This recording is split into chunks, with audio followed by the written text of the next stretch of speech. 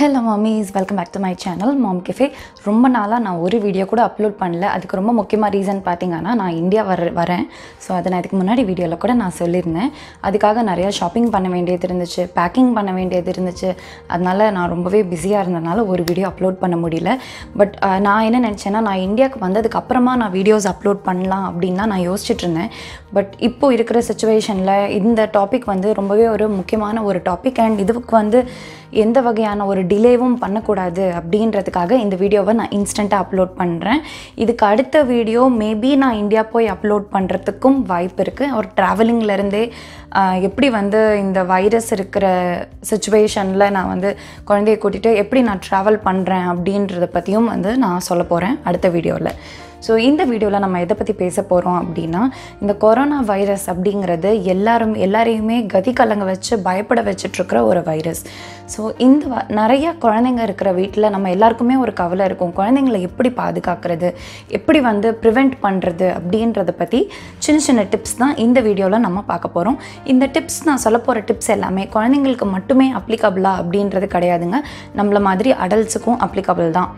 So நம்ம என்ன இந்த வீடியோவில் பார்க்க போகிறோம் அப்படின்னா கொரோனா வைரஸ் அப்படின்னா என்ன அதோட சிம்டம்ஸ் என்ன அது வந்து எப்படி அது பரவுது அப்படின்றத பற்றியும் குழந்தைங்களை எப்படி இதிலிருந்து பாதுகாக்கிறது அப்படின்றதுக்கான டிப்ஸை பற்றியும் தான் இன்றைக்கி இந்த வீடியோவில் பார்க்க போகிறோம் வாங்க வீடியோக்கு போகலாம் இந்த கொரோனா வைரஸ் அப்படிங்கிறது பேர்லேருந்தே தெரிஞ்சிருக்கும். இது ஒரு வகையான வைரஸ் டெட்லி வைரஸ் அப்படின்னு சொல்கிறாங்க ஸோ இப்போ உதாரணத்துக்கு எடுத்துக்கிட்டால் பேண்டமிக் இந்த வைரஸை வந்து பேண்டமிக் அப்படின்னு சொல்கிறாங்க ஸோ பேண்டமிக் அப்படின்னா அதுக்கு மேலே வில டேஞ்சர் அப்படின்னு சொல்கிறதுக்கான வார்த்தையே இல்லை அப்படின்ற அளவுக்கான ஒரு உயிர்கொல்லி வைரஸ் அப் நோய் அப்படிங்கிறது தான் வந்து இதை சொல்கிறாங்க ரெண்டாயிரத்தி ஆயிரத்தி தொள்ளாயிரத்தி பதினாறில் ஒரு வைரஸ் இந்த மாதிரி வெளிவந்தது உலகத்தில். ஸோ அந்த டைமில் அந் அப்போ இருந்த பாப்புலேஷனில் கிட்டத்தட்ட ஐம்பது மில்லியன் ஜனங்க இறந்து போனாங்க அந்த மாதிரி ஒரு வைரஸ் வந்ததுனால. ஸோ அதுக்கு அப்புறமா வந்த வைரஸ் வந்து வந்து இந்த கொரோனா வைரஸ் அப்படின்றது சொல்லப்படுது. ஆனால் அப்பைக்கும் இப்பைக்கும் இருக்கிற டிஃப்ரென்ஸ் என்ன அப்படின்னு பார்த்தீங்கன்னா நம்மளோட டெக்னாலஜியும் மெடிக்கல் சயின்ஸும் ரொம்பவே இம்ப்ரூவ் ஆகிருக்கிறதுனால அந்த காலத்தில் மெடிசின்ஸை ரிசர்ச் பண்ணி கண்டுபிடிக்க முடியாததெல்லாம் இந்த காலத்தில் நம்ம ரிசர்ச் பண்ணி நிறைய பேர் மெடிக்கல் சயின்டிஸ்ட் எல்லாமே கண்டுபிடிக்க ட்ரை பண்ணிட்டு இருக்காங்க. இந்த கொரோனா வைரஸ் அப்படிங்கிறது எப்படி உண்டாகுது அப்படின்னா இந்த கோல்டு ஃப்ளூ ஃபீவர் இந்த மாதிரியா இந்த மாதிரி ரெஸ்பிரேட்டரி இன்ஃபெக்ஷன்ஸ் அதாவது மூச்சு குழாயில் இருக்கிற சில இன்ஃபெக்ஷன் இது எல்லாத்தையும் உருவாக்குறது தான் இந்த வைரஸ் வந்து ரொம்ப முக்கியமாக செய்யுது. இது எங்கேருந்து தொடங்குச்சு அப்படின்னா ரெண்டாயிரத்தி பத்தொம்போதோட எண்டில் அதாவது டிசம்பர் டைமில் சைனால தான் இது ஃபஸ்ட்டு ஃபஸ்ட்டு ஸ்டார்ட் ஆச்சு. இது ஸ்டார்ட் ஆனது எப்படின்னு எங்கேருந்து வந்துச்சு எப்படி என்னன்னு அதோட ரூட் காஸை கண்டுபிடிக்கும் போது ரிசர்ச்சர்ஸ் என்ன கண்டுபிடிச்சிருக்காங்க அப்படின்னா அங்கே இருக்கிற மார்க்கெட்ஸில் மார்க்கெட்ஸ் அப்படின்னு சொல்லும்போது நம்ம ஊரில் நம்ம மீன் மார்க்கெட் அப்படின்னு சொல்லுவோம்ல ஸோ சீ ஃபுட் மார்க்கெட் அதுக்கப்புறமா இந்த சிக்கன் மட்டன் பீஃப் போர்க் இந்த மாதிரிலாம் விக் அனிமல் ப்ராடக்ட்ஸ் விற்கிற சில கடைகளில் இருந்தும் அங்கே வேலை செய்கிறவங்க அங்கே போயிட்டு வெளியில் வர்றவங்க ஆர் அந்த ஃபுட்டெல்லாம் உட்கொள்கிறவங்க இவங்களுக்கெல்லாம் தான் அட்டாக் ஆகிட்டுருக்கு அப்படின்றத கண்டுபிடிச்சிருக்காங்க. இதில் இன்னும் ரிசர்ச் தான் செய்யப்படுது அப்படின்னு சொல்லலாம். ஸோ இப்போ என்ன கண்டுபிடிச்சிட்ருக்காங்க ரிசர்ச்சில் அப்படின்னா அனிமல்ஸ்லேருந்து ஹியூமன்ஸ்க்கு இந்த வைரஸ் பரவுதா அப்படின்றத ரிசர்ச் பண்ணிட்டு இருக்காங்க ஸோ இப்போது இதோட சிம்டம்ஸ் என்னென்ன அப்படின்னு பார்த்தீங்கன்னா ஃபீவர் ஃப்ளூ கோல்டு கஃப் அதுக்கப்புறமா வந்து மூச்சு விட முடியாத நிலைமைகள் அதுக்கப்புறமா வந்து ரெஸ்பிரேட்டரி இன்ஃபெக்ஷன்ஸ் இந்த மாதிரிலாம் தொடர்ந்து இருக்குது அப்படின்னா இதெல்லாம் தான் இந்த கொரோனா வைரஸோட சிம்டம்ஸ் இது எப்படி பரவுது அப்படின்னா ட்ராப்லெட்ஸில் காற்றுல இருக்கிற ஈரப்பதத்திலிருந்து பரவுது. உதாரணத்துக்கு இப்போது நம்ம வந்து ஒரு பத்து பேர் இருக்கிற கூட்டத்தில் இருக்கோம் அப்படின்னா அதில் ஒருத்தங்களுக்கு இந்த வைரஸ் இருந்து அவங்க தும்முறாங்க அப்படின்னா காற்றுல வந்து அந்த தும்மல்ல இருந்து வ வெளிப்படுற அந்த ஈரத்துளிகள் தண்ணி இருக்குல்ல? ஸோ அது வந்து காற்றுலேயே இருக்குது அது இன்னொருத்தங்க மேலே விழுது. அது அப்படி அப்படியே கம்யூனிகேட் ஆகுது. ஸோ இப்படி தான் வந்து வைரஸ் கம்யூனிகேட் ஆகிக்கிட்டு இருக்கு. இது இப்போது இதெல்லாம் இந்த கொரோனா வைரஸ் பற்றி உங்களுக்கு ஒரு ஐடியா கிடைச்சிருக்கும். இப்போது இந்த மாதிரி பரவுகிற ஒரு வைரஸ் கிட்ட இருந்து நம்ம குழந்தைங்களையும் நம்ம குடும்பத்தையும் நம்ம எப்படி காப்பாத்துறது அப்படின்னா அதுக்கு ரொம்ப சின்ன சின்ன டிப்ஸ் இருக்குங்க. இதில் நீங்கள் இன்னொரு ரொம்ப முக்கியமாக தெரிஞ்சுக்க வேண்டிய விஷயம் என்ன அப்படின்னா சோஃபார் இந்த கொரோனா வைரஸால் பாதிக்கப்பட்டவங்க அப்படின்னு பார்த்தா அதிகப்படியாக பார்த்தா வயதானவர்களும் முதியவர்களும் தான். ஏன்னா ரெண்டு விஷயம். ஒன்று அவங்களுக்கு பை நேச்சர் உடம்புல வந்து இம்யூனிட்டி பவர் இருக்காது. இன்னொன்று அவங்களுக்கு ஆல்ரெடி ஒன்று ஒன்று ரெண்டு நோய்கள் ஆல்ரெடி இருக்கிறதுக்கு சான்ஸ் இருக்குது அதனால் அவங்களுக்கெல்லாம் இது டக்குன்னு தொற்றி தொட்டிட்டு சீக்கிரம் சீக்கிரம் வருது.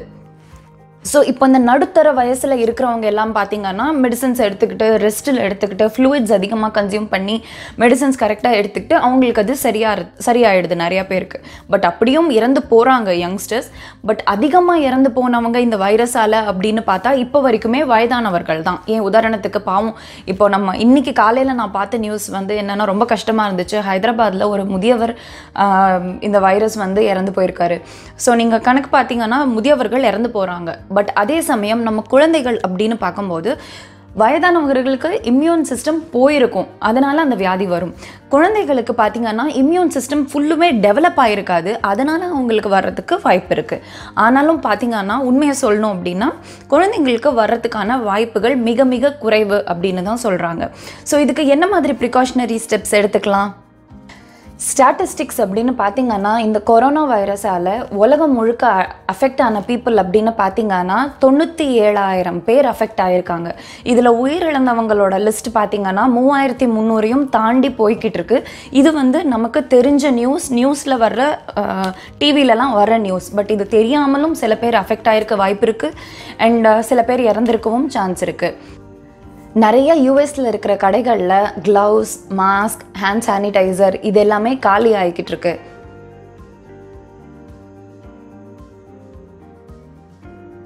ஃபஸ்ட்டு விஷயம் என்ன அப்படின்னா ப்ராக்டிஸிங் குட் ஹைஜீன் குழந்தைங்க வீட்டில் இருந்தாலும் வெளியில் இருந்தாலும் ஒரு ஒரு தடவையும் கை கழுவுறதுக்கு சொல்லிக் கொடுங்க. இது ரொம்பவே கஷ்டமான ஒரு விஷயம்தான். ஏன்னா ஒரு பொம்மையை தொட்டுட்டு அந்த குழந்தை சாப்பிட வந்தாலோ இல்லைன்னா வந்து சாப்பிட்டுட்டு பாத்ரூம் போயிட்டு வந்தாலோ இல்லை பாத்ரூம் போயிட்டு வந்துட்டு சாப்பிட்டாலோ சாப்பிட்றதுக்கு முன்னாடி சாப்பிட்றதுக்கு அப்புறம் அப்படின்னு சொல்லிட்டு எவ்வளோக்கு எவ்வளோ ஒரு குழந்தைக்கு நீங்கள் ஹைஜீன் சொல்லிக் கொடுக்க முடியுமோ அவ்வளோக்கு அவ்வளோ ஹைஜீன் ப்ராக்டிஸ் பண்ணணும்.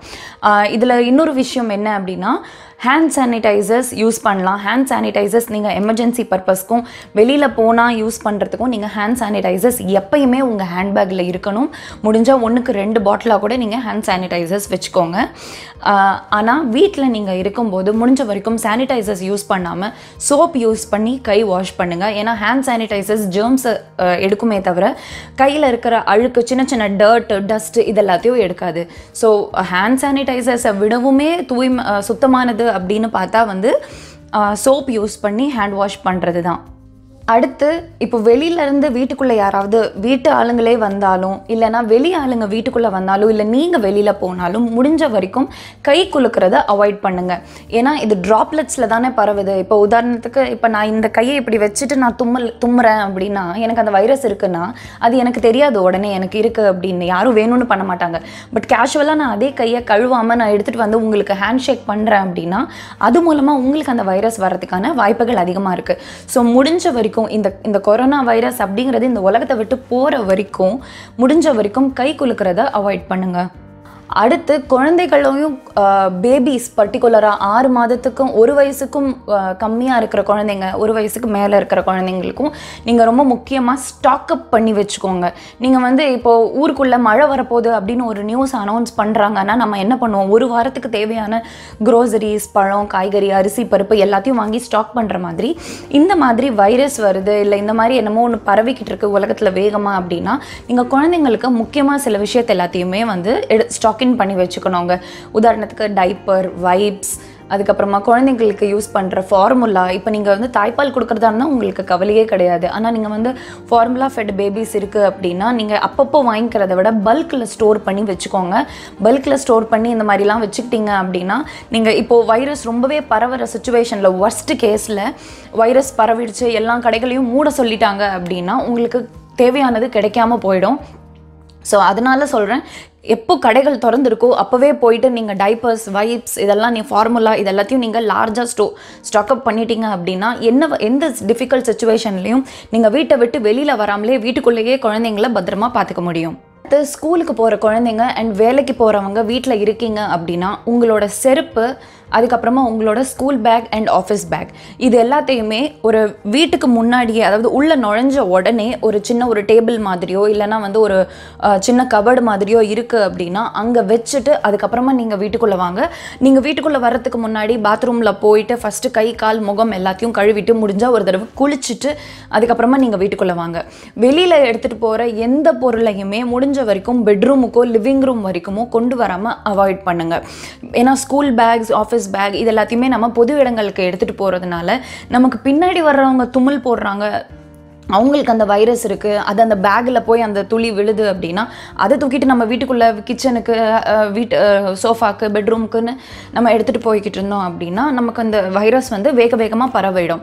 ஸோ முடிஞ்ச வரைக்கும் நீங்கள் ஷூஸ் ஆஃப் ஸ்கூல் யூனி ஸ்கூலில் போ யூஸ் பண்ணுற யூனிஃபார்ம்ஸ் இது எல்லாத்தையுமே வந்த உடனே துவைக்கிறது முடிஞ்சதுன்னா அது ரொம்பவே ப்ரிகாஷனரியாக இருக்கும்.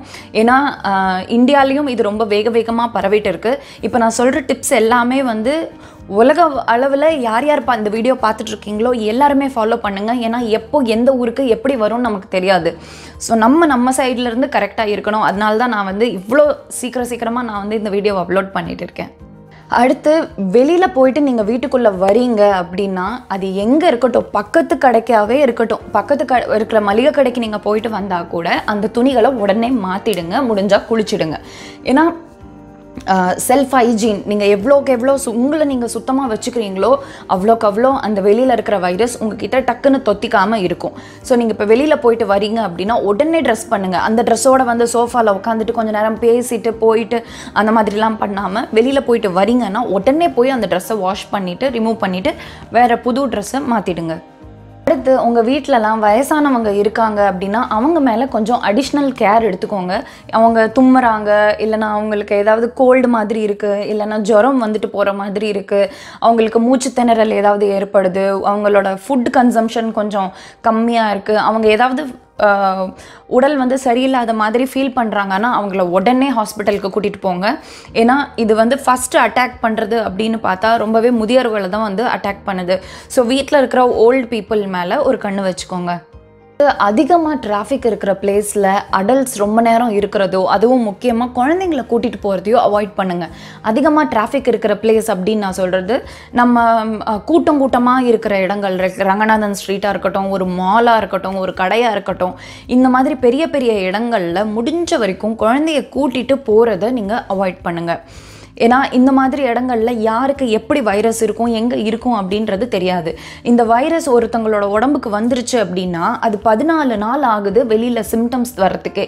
ஸோ அந்த பதினாலு நாளுக்குள்ளே நீங்கள் போகிற கூட்டத்தில் யாராவது ஒரு ஆள் இருந்தால் கூட யாருக்கு எப்படி இந்த வைரஸ் வரும் அப்படின்னு நமக்கு தெரியாது. ஸோ எவ்வளோக்கு எவ்வளோ நம்ம சைட்லேருந்து நம்ம ஜாக்கிரதையாக இருக்கோமோ அவ்வளோக்கு அவ்வளோ நமக்கும் நம்ம குடும்பத்துக்கும் நல்லது. அடுத்து வீட்டை முடிஞ்ச வரைக்கும் எவ்ரிடே ஒன்றுக்கு ரெண்டு தடவை டிஸ்இன்ஃபெக்டன்ட் போட்டு மாப் பண்ணிகிட்டே இருங்க. ஸோ டிஸ்இன்ஃபெக்டன்ட்னா உதாரணத்துக்கு Lysol or neem neem use பண்ணுங்கள் ஏன்னா நம்ம அந்த காலத்துலேருந்தே யூஸ் பண்ணிகிட்ருக்கிற இருக்கிற ஒரு விஷயம். நேச்சுரலாக நீம் லைசால் மாதிரிலாம் ஏதாவது கிடச்சிது அப்படின்னா அதெல்லாம் யூஸ் பண்ணுங்கள் வீட்டை எவ்வளோக்கு எவ்வளோ சுத்தமாக வச்சுக்க முடியுமோ அவ்வளோக்கு அவ்வளோ சுத்தமாக வச்சுக்கிட்டு இருங்க. அடுத்து இந்த வைரஸை பற்றி ஓரளவுக்கு நாலேஜ் தெரிஞ்சுக்கோங்க. நியூஸில் என்ன நடக்குது அப்படின்றத பார்த்துட்டு இருங்க. பட் அனாவசியமாக இந்த கொரோனா வைரஸ்னால் என்ன? இது எப்படி வருது? என்ன ஏதுன்னு நீங்கள் ரொம்ப இதில் மூழ்கி போய் இதை பற்றியே ரொம்ப யோசனை பண்ணி நீங்கள் ரிசர்ச் பண்ணிகிட்டே இருக்காதீங்க. ஏன்னா ரிசர்ச் பண்ணிட்டு இருக்கிறதுனால வைரஸ் வரும் நான் சொல்ல மாட்டேன். ஆனால் அனாவசியமான டென்ஷன் வருமா வராதானே தெரியாமல் அதுக்கு முன்னாடியே நம்ம டென்ஷன் எடுத்துக்கணும் அப்படிங்கிற அவசியம் கிடையாது. ஸோ இதை பற்றிலாம் ரிசர்ச் ரொம்ப பண்ணாமல் இப்போ டிவியில் பார்க்குறீங்க நியூஸ் வருது அதில் அவங்க நிறைய நிறைய டாக்டர்ஸ் பேசிகிட்டு இருக்காங்க எப்படி பண்ணணும்? எப்படி நீங்கள் உங்களை ப்ரிவெண்ட் பண்ணணும்? அப்படின்றத டிவியில் ஆல்ரெடி நிறையா டாக்டர்ஸ் சொல்லிட்டு இருக்காங்க அந்த மாதிரி விஷயங்களை பார்த்து நாலேஜ் கெயின் பண்ணிக்கோங்க. அனாவசியமான டென்ஷனை மைண்டுக்கு எடுத்துக்காதீங்க. அடுத்த விஷயம் அடுத்த விஷயம் வந்து குழந்தைங்களுக்கு அப் டு டேட்டாக நீங்கள் வேக்சினேஷன் போட்டிருக்கீங்களா அப்படின்றத பார்த்துக்கோங்க. ஃப்ளூ ஷாட்ஸ் அண்ட் உங்கள் குழந்தைங்களுக்கு அப் டு டேட்டாக நீங்கள் வேக்சினேஷன் போடணும் போட்டிருக்கீங்களான்றதை செக் பண்ணிக்கோங்க. உங்கள் குழந்தைங்க ஏதாவது தும்முறாங்க இல்லை ஏதாவது கொஞ்சம் சரியில்லாமல் நீங்கள் ஃபீல் பண்ணுறீங்க ஏன்னா ஒரு அம்மாவுக்கு கண்டிப்பாக உணர முடியும். ஒரு குழந்தை அப்நார்மலாக இருக்குது அப்படின்னு உங்களால் கண்டுபிடிக்க முடியும். ஸோ அந்த மாதிரி நீங்கள் கண்டுபிடிக்கிற சுச்சுவேஷனில் இமீடியட்டாக டாக்டர் கிட்டே போயிட்டு இதுக்கு ரெமெடி என்ன? இது எதனால் இப்படி குழந்தைங்களுக்கு வருது அப்படின்றத கேட்டு தெளிவுபடுத்திக்கோங்க.